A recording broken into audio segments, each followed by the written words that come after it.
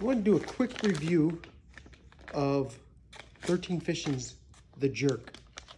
It's basically their version of a jerk bait, but it's much more than that.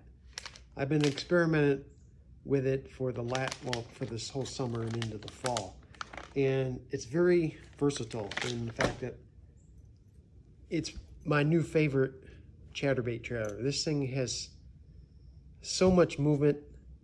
These things flutter and they go back and forth and it's an incredible chatterbait trailer. Love that. I got, uh, this is magic sauce color on a green pumpkin. A couple different colors that I use with my chatterbaits. I don't get very crazy in my colors. I usually throw a green pumpkin, black blue like this, or a white. And I'll throw in a couple random ones that I custom make throughout the season. But I have a core three color is just white, green pumpkin, and black and blue. But this is just a black and blue with a little bit purple on it. This is the blackberry cobbler, like this.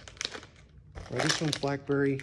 So on the black blue, I throw different two different colors, the blackberry cobbler and just all black. Just depends on the light conditions and the water clarity.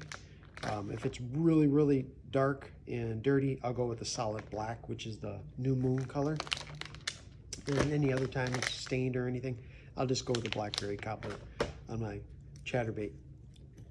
Uh, another thing, it's their version of a jerk bait, and it works really well. This is just weightless. Just a white, just rigged weightless. Phenomenal little jerk bait. Those things walks dog underneath the water.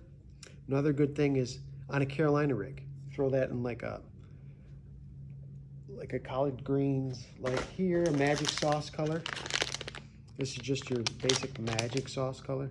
Throw that on a Carolina rig. Even the black works really good. It, maybe it looks like a leech or something, but I've caught a bunch of fish on doing using that on the Carolina rig.